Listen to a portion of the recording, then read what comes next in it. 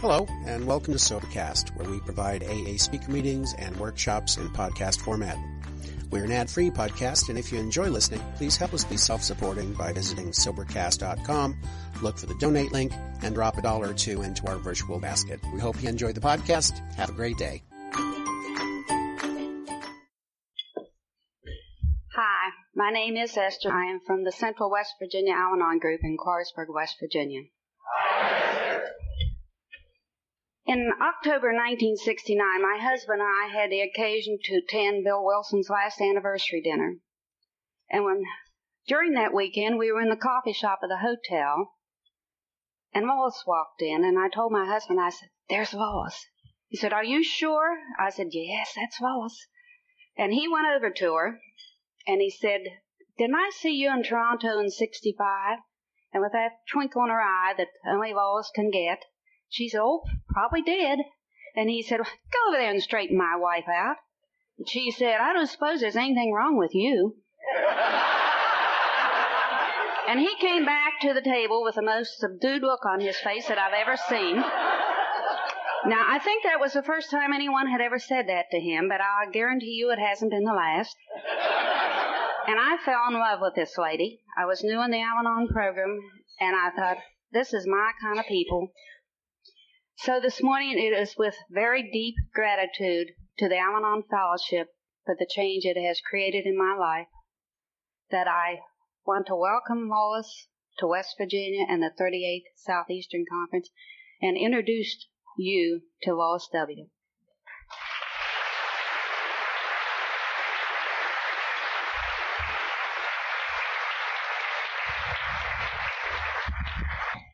Good morning, everybody. It is certainly great to be here with you all. And I can't tell you how much I thank you for carrying on this beautiful program that we have, that God and AA and so many other people too in AA have given to Al. I think that gratitude is one of the symbols, I think, almost of our fellowship. I hope it is, because we have so very, very much to be grateful for. And I particularly have more than anybody I think in this whole world. That's my cane, never mind. to be thankful for. I had a wonderful husband, and I have the love of so many people. And I want to talk a little bit about that and about carrying the message on. You know, it's important. A thing gets, can't get started unless somebody takes the first step somebody makes a move. But the carrying on afterwards is really what makes a fellowship. If um, Bill had started the idea of Alcoholics Anonymous, and even if Dr. Bob had come in with him, if nobody carried it on, if what would AB, AA be like? Nothing. And so it's the people that carry on through generation after generation. And I really feel sure that it will be carried on generation after generation. Bill was very, very optimistic about our three A's, AA, Al-Anon, and Alateen. Um, about the potential that they had in this world. And I think I'm even more optimistic. I really think that we can play a very large part in saving this troubled world from itself. So, as I say, I'm so grateful for your love and everything and devotion. But I think the emphasis should always be on the new people coming in, the people that are to carry it on.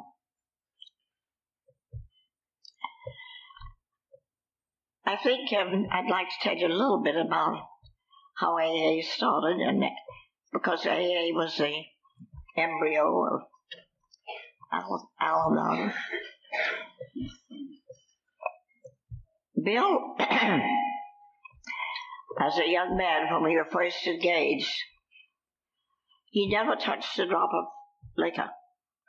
And I was so very proud of him. I thought, what willpower, what strength of character he has. Never to touch a drop of liquor. So, I was very, very surprised when after we were married to go to New Bedford, Massachusetts, where he was stationed in the army during the First World War. And to go to a party and look around when it came time to go home for Bill, but no Bill. I couldn't find him. And I asked some of the boys about it, and he said, Oh, we had to take Bill home some time ago. so I was quite surprised and, and disgusted and shocked, of course, when I got home and found him with a big bucket at his head. But I wasn't too worried in those early days because I thought that living with me would be such an inspiration. that he wouldn't need the artificial stimulant of alcohol. but years went on, and on and on. And Bill's drinking got worse.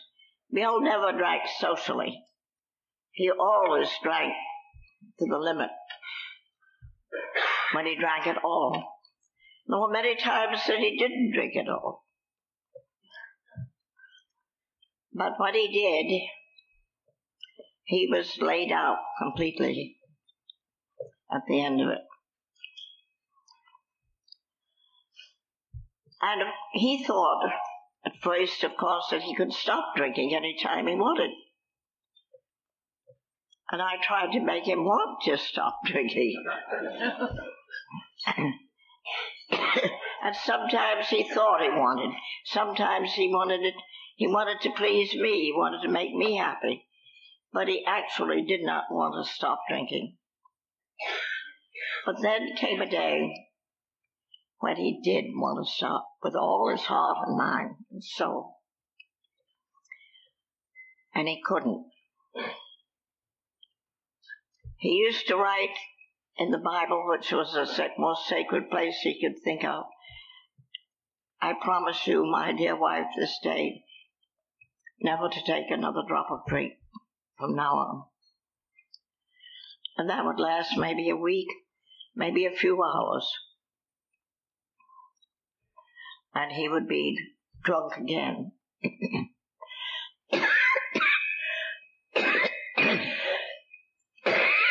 Excuse me. and he Bill really meant it this time, but I, I knew he did. And he couldn't. And so he lost, finally, he lost all hope. And I don't think there is a sadder sight in this world than somebody with such great ability and love in his heart could fall so low and give up all hope. But that happened to Bill, and I had to make all the decisions. I had to be in contact with the outside world, the only contact with the outside world. I had to earn the living. I had to do everything. Bill was nothing but a sodden rag. So, that was a very heartbreaking situation. Somehow or other, however, I never did quite lose hope. There was always a little gleam somewhere, or would return after desperate hours, would return. I couldn't believe that such a thing could happen.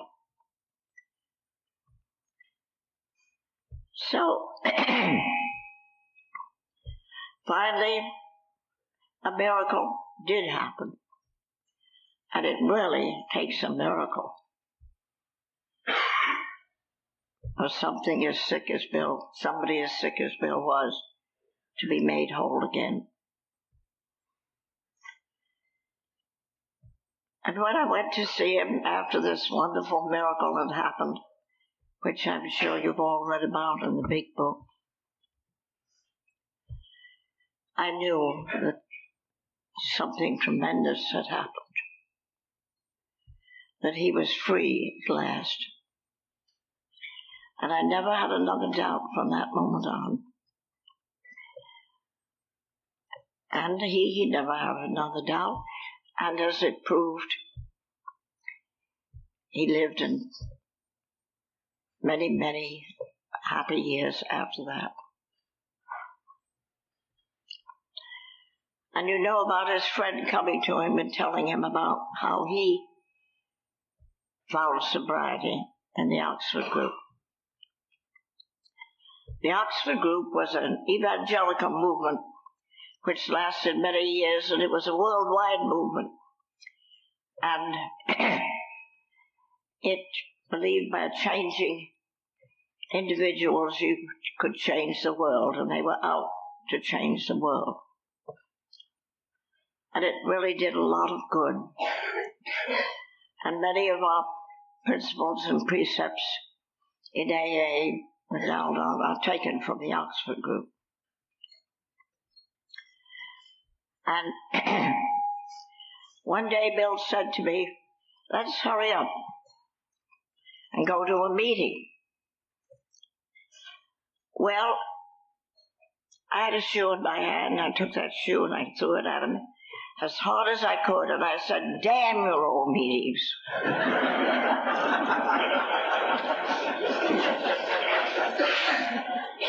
this surprised and shocked me lots more than it did him. Why had I reacted so violently to a simple remark of his? Here he was sober. I thought I was the happiest person in the world. I have a great ability to rationalize. I, Bill was not drinking. That had been my lifelong purpose to help him stop drinking. And here he was now, free of liquor. If I wasn't happy, if I wasn't the happiest person in the world, why wasn't I? What was it? There must be something in me. It took me a long time to get down to that fundamental. But I finally did. And then to ask myself honestly, one of Bill's precepts of the early AA and all AA, of course, was to take an inventory. I had never thought to take an inventory. I had accepted myself, taken myself for granted that because I was well brought up in a moral, loving, very loving home, that my ideals were the highest and that there was couldn't be any improvement on them. and that my methods and ways were the right ones, the very best ones.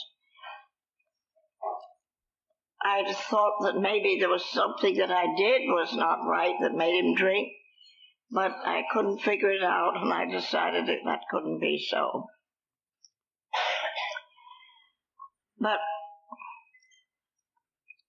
really, it took me years to work it out that I too needed to change my balance of qualities and, and um, to reassess my whole life. So, in those early days, after Bill and, and Bob had um, started this wonderful fellowship, and there were members in a few cities around, people had to go to a place if they wanted to start a new group. There was no literature. There was no way of spreading the message unless you went. You had to travel.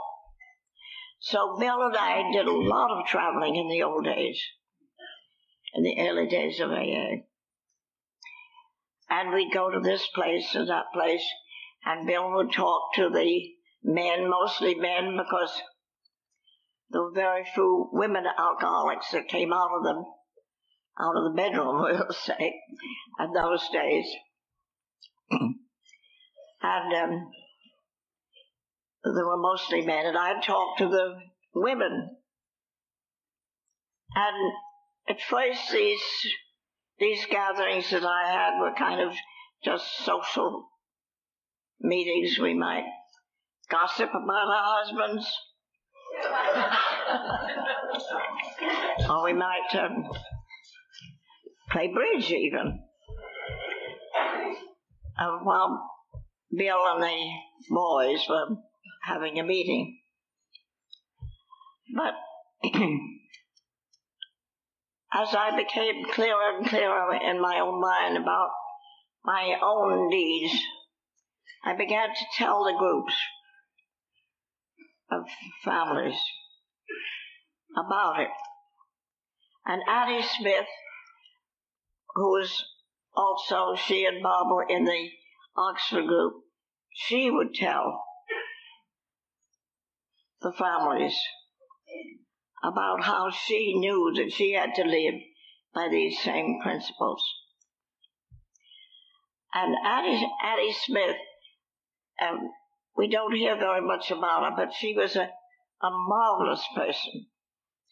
And both AAs and non-alcoholics used to go to her and tell her all their troubles. And she, she was nearly blind. She couldn't see very well. She'd sit in a dark corner of the room and smoked cigarettes. She was a chain smoker one cigarette after another. But she was a very, very loving and wise human being. And as I say, AAs as well as their families used to come to her for advice. And she would, of course, tell them about her own discovery that she had to live by the principles of AA. So then, later on, as AA grew, grew, and of course there was literature published, and the General Service Office was set up, and a bill would work on the structure, a future structure, or the present structure that would be suitable for the future of, of this fellowship. And he spent much time and thought in reading how other societies were organized and formed and the principles under which they were being held together. And he tried to analyze it. He studied governments, he studied churches, he studied all kinds of different things. So he could, excuse me, so we could get some idea of what would be best for this very unique society. It couldn't exist and, and grow with the ordinary organization of a of a, a society. It had to be something that fitted into the unusual temperament and situation of the alcoholic. So he spent a lot of time thinking about it and worked out this, which seems now as if it had been a very God inspired uh, process. This structure that we have in AA, where there's no no one body of people or one person that has any authority over anybody else. the only authority is God as we understand Him. So, while he was doing this, he had, he had come to the conclusion that that AA needed a, a yearly conference, an annual conference of delegates from all over the country to come together and to oversee what was being done at the General Service Office. And it would be the delegates, thank you, the delegates' um, privilege to um, to decide whether they thought that the um, what had been done by the General Service Office and Board of Trustees was in the best interest of AA. So he went around the country, traveled around to get the opinion, to tell the groups about this idea and to get their opinion on whether they wanted to do it. And when he came back, he told them, oh, when he came back, he told me that uh, he had found, surprisingly to him, and, and also to me, a number of groups of the families of alcoholics. He hadn't realized that they had, that the families had gotten together. Um, sometimes they got together as I said before, just to gossip. Sometimes they got together to put on the refreshments at a meeting. Sometimes, if there was an AA clubhouse, they would hang up curtains in the AA clubhouse. And, but some of them had a fundamental purpose of helping themselves to live by the 12 steps of AA as they had been adjusted to their own situation. So, I was surprised to hear that these, I knew that, uh, that a lot of um, families of alcoholics were living that way, but I hadn't realized that they had formed these groups all over the country. So he asked me if I would start a similar fellowship. Excuse me.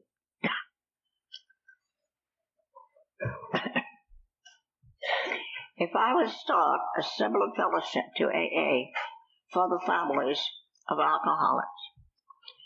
So Al Anon is really an AA's idea.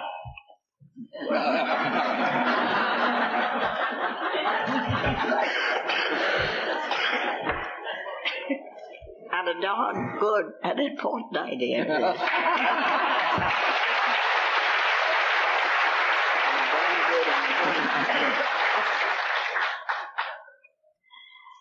so, when he asked me if I'd sought such a fellowship, I didn't want to.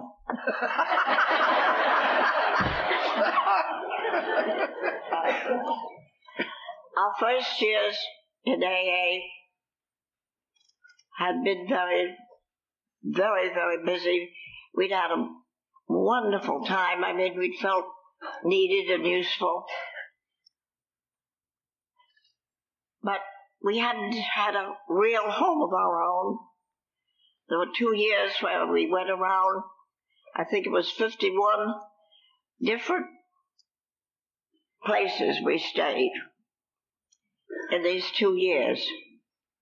Living with other AAs because we didn't have any home of our own, we didn't have any money. I'd stopped.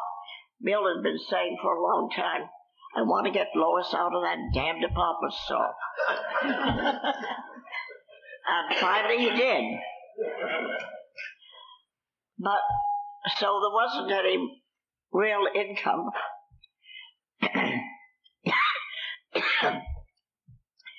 so, we had gotten a home in 1941 and it was such a joy to me. It was a home in the country, not too far from New York, about 40 miles from the city. And I was having such a glorious time in the garden. I just loved flowers and getting my hand in the, in the soil and weeding. That um, I didn't want to take the time away from this home that we had. But it wasn't very long before I figured out that, that and really felt very deeply that this was something very much more useful and important, and I wanted to do it. So I called a friend, a neighbor, a girl by the name of Ann Bingham, who, by the way, had been going, or who had formed a, a group of families in her area. She lived about eight miles from us. In her area, a, a group of families. And um, she was thrilled to do it. And she came up to my house at Stepping Stones to help me one day a week. And we wrote to a AA and asked them if they had any names of the families of alcoholics. If they had, would they send them to us, please? And to our surprise, they gave us 87 names. And we wrote to those 87. And we asked them if they would like to form a fellowship of the families of alcoholics, similar to AA. And there were 50 of them. And we, we got back answers from 50 saying they would love to do it. So Al-Anon really started with a nucleus of 50 groups all over the country, which is really, I think, a surprising number of, of groups to start with. And then it began to grow. And we asked, we sent out questionnaires continuously, asking this fellowship if they wanted to, well, form a fellowship like AA, if they wanted the name to be Al Anon Family Groups, and the principals say, I'm sorry, the same as AA,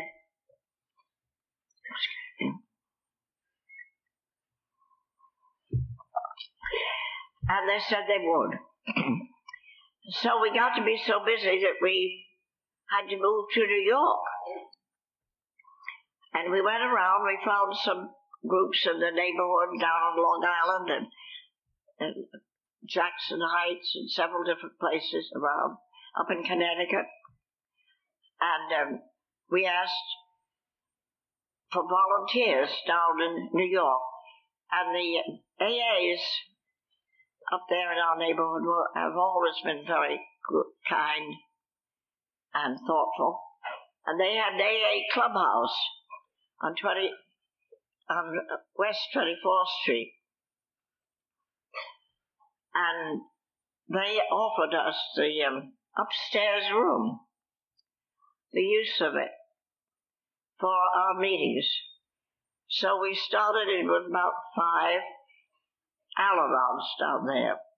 This was in, in 51.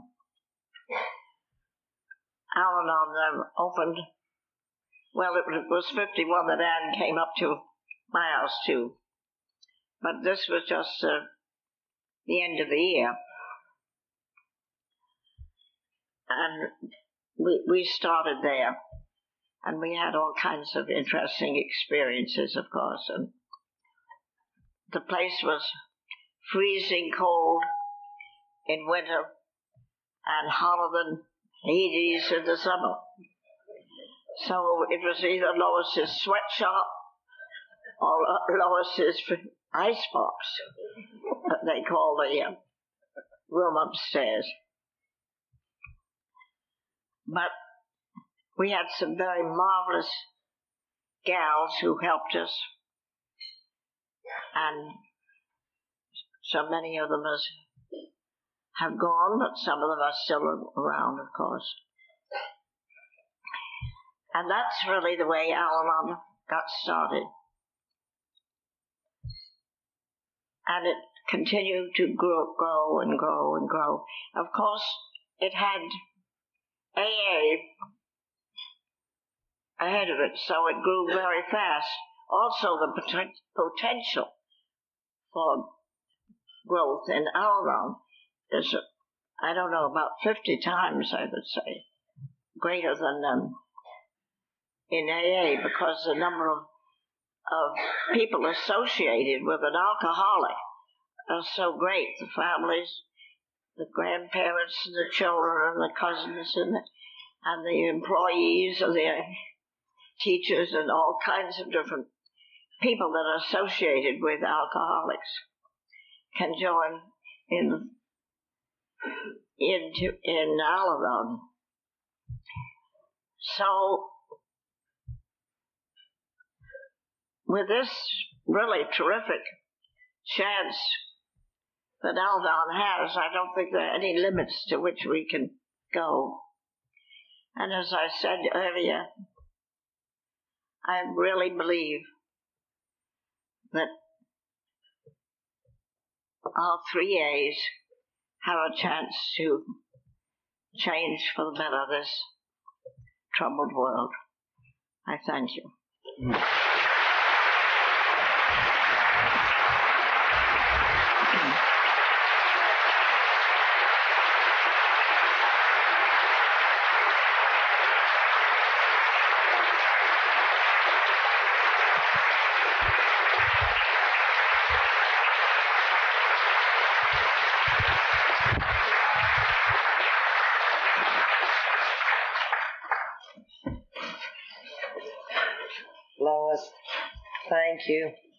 You, thank you. We all thank you for your constant love and dedication to the Al Anon Fellowship for the past 31 years. I think your message of hope shines for the millions of us all over the world whose lives have been affected by the disease of alcoholism in a loved one. I hope that your visit with us today and your inspiring words Well, let us all feel the responsibility of carrying that light to the millions still out there in darkness and despair. Thank you again. Well, thank you very much.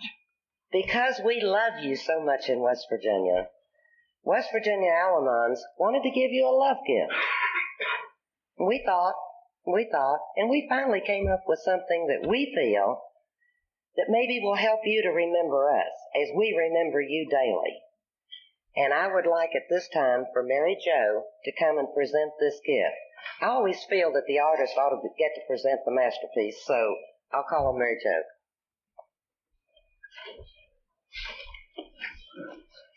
Oh my. I am Mary Jo from St. Albans, made with love, as I made it. And it represents all the Al-Anons from West Virginia. I love you. Oh, thank you so very much. Look what you've got. I'm to, I'm to read you the card. There's a big, great big card, and the pa- parcel itself is huge. And the card goes on. See, see the card.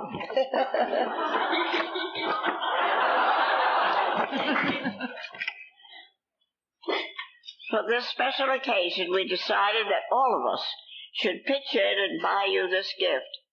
Your share comes to one dollar fifty.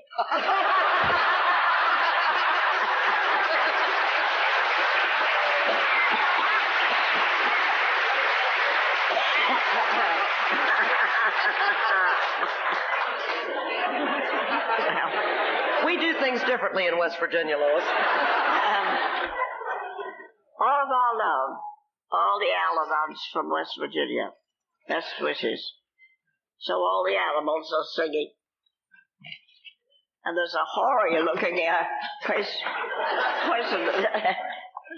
animal, a lion. Yes, We roar a lot. yes, that accepts the parcel. May I ask Barry to help you with this? No, no. I love that you say it comes to a dollar fifty. I'm sorry, I neglected to introduce the gentleman on Lois's right.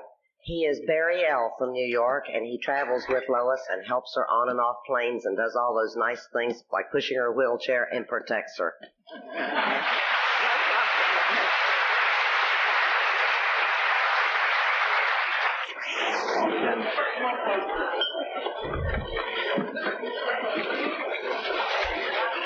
Oh my!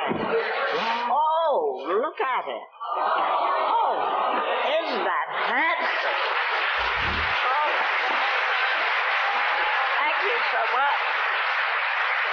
Tell, tell me who made it. Beg your pardon? Who who made it? Mary Jo.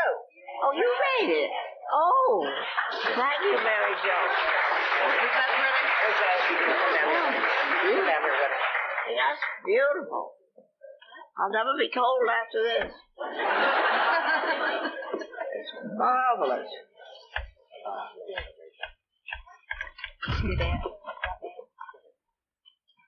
Thank you so very much, Mary Jo, and all the rest of you for your sharing, I'm sure.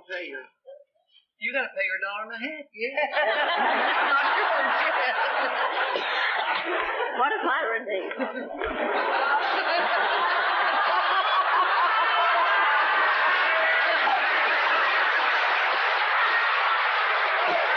I'll have to give her change. She's a big spender. We're not quite through yet. We still have one more small gift that I'm going to ask Janet from St. Albans to come and present to you. Trash here, isn't it? I'm Janet, Grateful Out from Hour 9 from Winfield. And I just want to give this God bless. I better been correction myself. Uh-huh. God bless you, and thank you for changing your mind.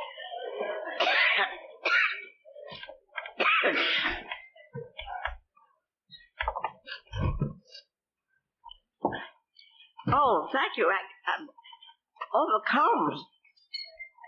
This is so pretty. I hate to spoil it. Somebody waits with bated breath. Reminds me of a wedding shower. Um,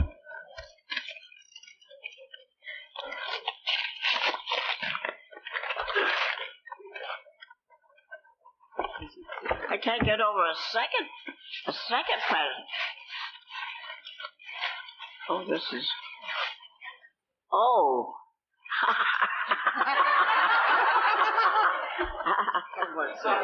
it says Jab your old meetings.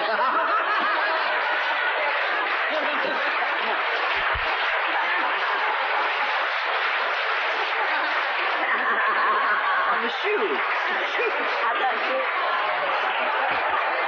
Want me to hold it right here? There's a picture of a shoe and it's a flying through the air. Isn't that cute? It says, damn your old meetings. June 1982, and it has a little old fashioned shoe.